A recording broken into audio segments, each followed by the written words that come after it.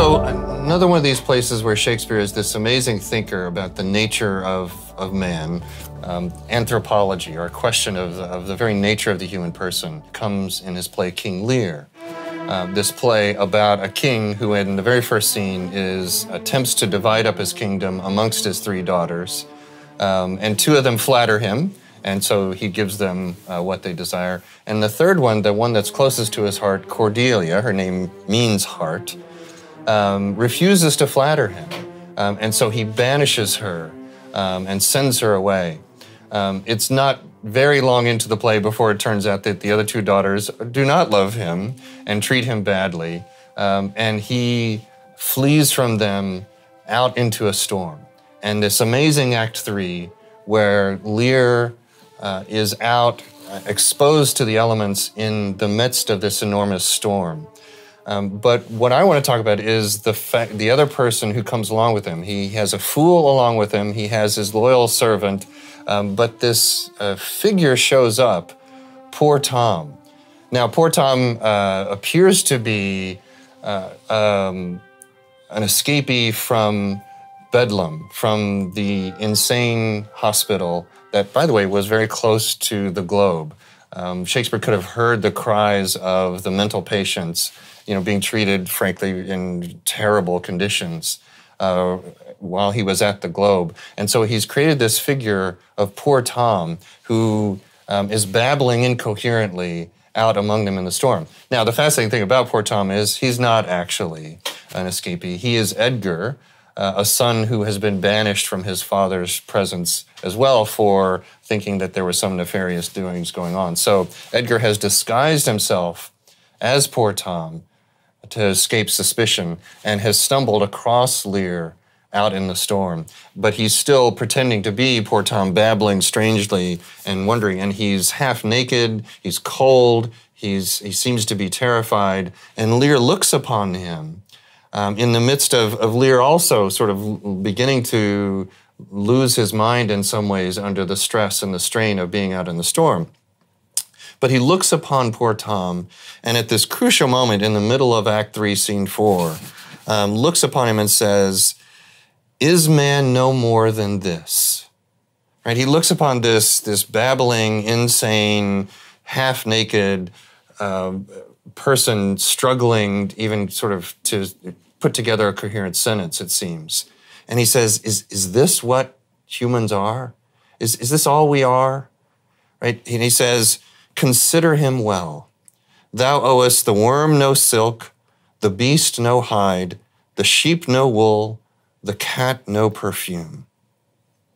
Right? You don't owe anyone anything. You've been stripped down to the basics. Um, you don't have any responsibilities. You don't have you don't have anyone that you owe anything to. You don't have anyone, right?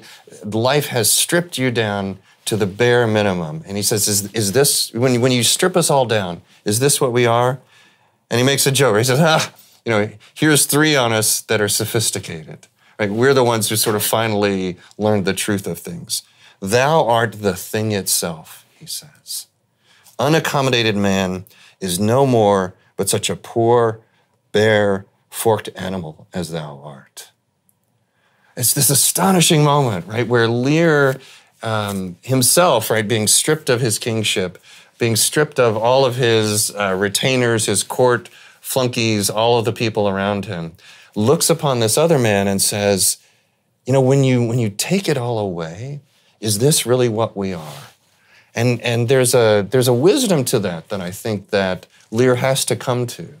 That uh, at our at our deepest, we need to find some way to undeceive ourselves. That that uh, the BMW and the nice house uh, and the 2.3 kids um, and uh, the job title of uh, chair professor of English and all those things really are not what make us human. Um, and for a long time, I really read the play in that way that that Lear does come to that wisdom. But I also have changed my sense of the reading of the play that, in fact, that's not the ultimate wisdom, that Lear still does have some things to learn from that point.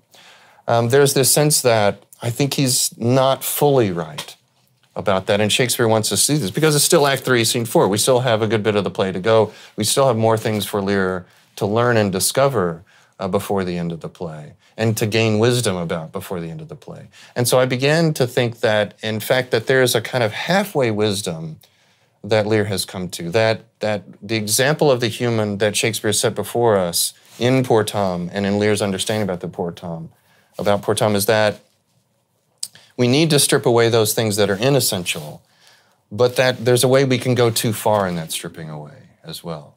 Because, in fact, of course, he's wrong about poor Tom. Poor Tom isn't poor Tom. Poor Tom is Edgar, the son of his good friend and servant Gloucester, the Earl of Gloucester. I think that there's these times when we are tempted to think that the way to find our humanity is to strip everything away.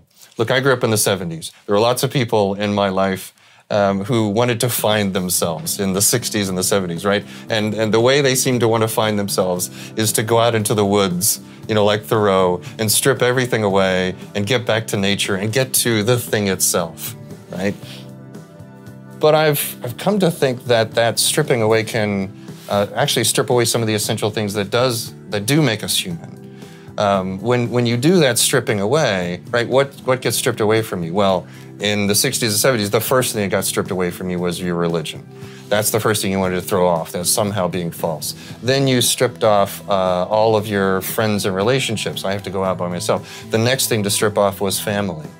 Uh, the, and, and some of those closest relationships. And I think that what Shakespeare is trying to get to us in Lear, thinking that Tom is the thing itself, um, is to say that no, that's not fully what makes us human. Right? We're, in fact, we're all born into relation, uh, as, as my colleague and mentor John Alvis says. Uh, the minute we're born, we are someone's son, we are someone's daughter, uh, we are the grandson of someone else. Um, we are born into relation. And Lear um, has to strip away some of the falsities about himself. But what he has forgotten at this point in thinking that he can be out in the storm by himself and somehow therefore be the truest self is that he still has a daughter who loves him. He still has a kingdom, in a sense, that needs him. He still has a whole set of relationships that are a part of who he needs to be. And when he returns back out of the storm and does reestablish that relationship with Cordelia and, uh, and establish who he is, the, right, one of the first things she says to him when he wakes up after being in the storm is uh, he, she says, You're in your own kingdom, sir. And this touching moment where she says, You're still the king. It is still, this still is your kingdom. And so there's this way I think that we can often be tempted in our explorations of the human. Um, for, for in some good reasons, I think, to think that we need to strip everything away. Um, but in fact, again, that's not true. Um, from the moment we are conceived, we are a son or a daughter. From the moment we are born, we are born into a family and a set of relationships. Those are what make us human as well. And not to acknowledge those is not to fully acknowledge our humanity and not to fully embrace uh, what I think Lear doesn't want to embrace the problems, the difficulties, um, the, the demands on one that make one human. At the beginning of the play, the reason he wanted to give up and divide up his kingdom is that he could basically just retire and go, as he says, crawl unburthened towards the grave. I think he wanted to check out, and he wanted to check out of those relationships and those problems and those demands upon him that made him a king. And that's part of what sets the tragedy in motion. So to go off um, into the woods is probably a good thing every now and then. Um, but to think that the point of that is to is that we'll find ourselves by stripping away everything that makes us ourselves is, I think, fundamentally a mistake.